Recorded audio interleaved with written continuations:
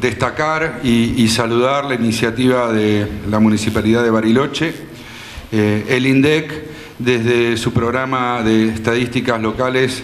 eh, impulsa, incentiva y apoya el desarrollo de este tipo de experiencias. Eh, Bariloche nos da este, una gratísima sorpresa porque se, pone a la vanguardia del sistema de estadísticas locales con este, con este nuevo sistema que ha formulado. Y además queremos también eh, destacar los procesos de, articulación entre, entre, la nación, entre la provincia, los municipios y, la universidad.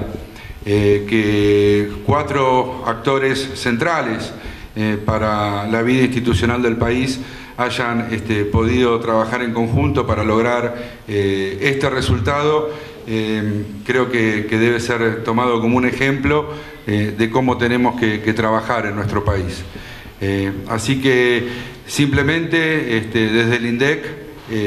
felicitar a la Municipalidad de Bariloche, a la gente que ha trabajado en este proyecto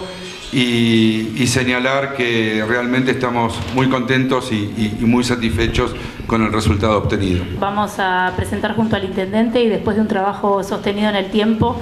eh, el proyecto de ordenanza que crea el sistema estadístico local para poder así institucionalizar los procesos de optimización de, toma de recursos. Y no solo por ahí que quisiera resaltar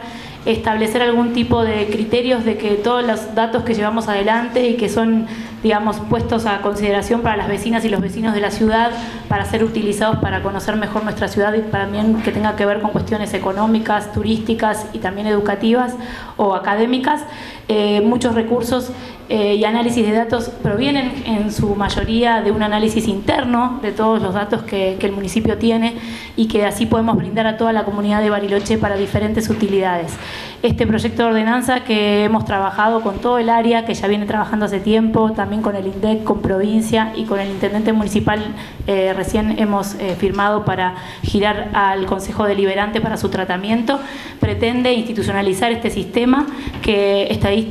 que generará también algunos criterios dentro de su oficina que debe perdurar en el tiempo, criterios eh, base al interior del municipio para ir recopilando datos que nos sirvan para diseñar, implementar políticas públicas Estado y que esta política no sea una política de un gobierno determinado, sino una política del Estado municipal que trascienda. Así que básicamente esos son los lineamientos generales del proyecto de ordenanza.